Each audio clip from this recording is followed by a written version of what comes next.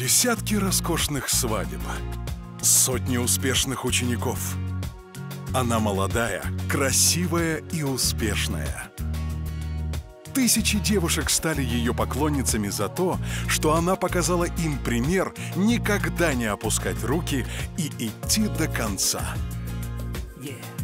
Ольга Ермилова